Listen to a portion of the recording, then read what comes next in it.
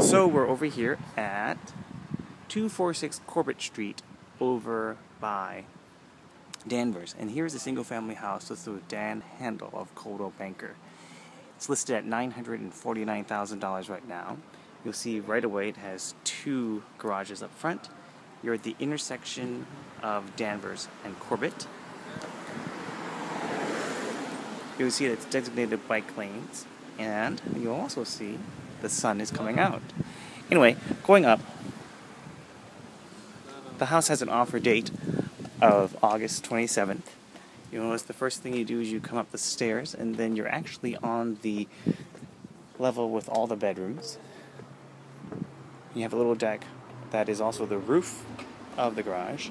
Coming up, you also have your entry deck. And got a nice Victorian facade Great to meet you guys too.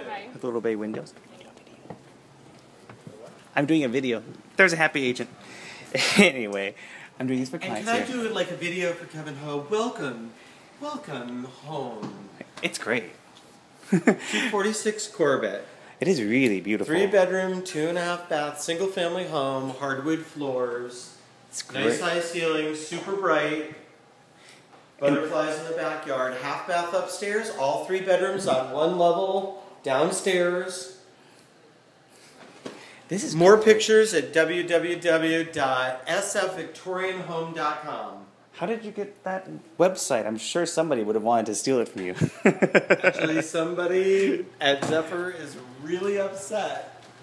Oh, you know? Oh yeah. And and VictorianSpecialist.com. This is great. So it's gas, granite. I like the little island cabinets. Are- dishwasher. Yeah. Oh yeah. And then laundry back here, which is really nice and convenient. I like that formal dining room you have. It's really cool. And this is the half bath right here. Half bath over here. Okay. If you want Oh, wow. backyard, just shoes off downstairs. With a skylight, with a skylight too. I imagine you can make skylight, put a skylight here, and you see the backyard. It's very nice. Also, if you took these out, put a header up here, you could do French doors or the big sliding glass door as well. That'd be really pretty. Going up there, you come back down here, then we go back down. You have got a stairway down, so there's some potential for some light work here that would be really nice. So we'll go back down here. If I knew, I'm not allowed to tell you.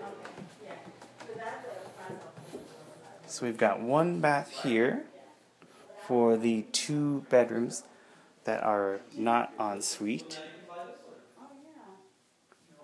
You've got a little window here, you've got a nice closet, which is there.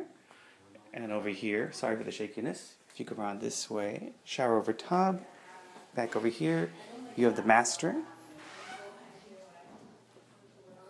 And over here, you'll see that there is indeed a nice big bathroom back here. I'd update it if I were you guys. But in the grand scheme of things, it's great that you guys have a bathroom. You have a storage here. And if we look out here, you've got a nice closet here. But the one thing that's interesting is if you go over here, you've got a pretty deep closet because you're underneath the stairwell coming down in the other bedroom. Of course, you could just keep this as an office or even just make it into your giant closet if you really wanted to, using the door right here and making this an entire master wing if you even wanted to. Anyway, it's really great. Dan's a great agent to work with, great location. It's very quiet. You've got forced air. You've also got this cool fireplace. And I think it's a great, great, great, great, did I say great already? Opportunity. And offers are due on August 27th at 2 o'clock p.m.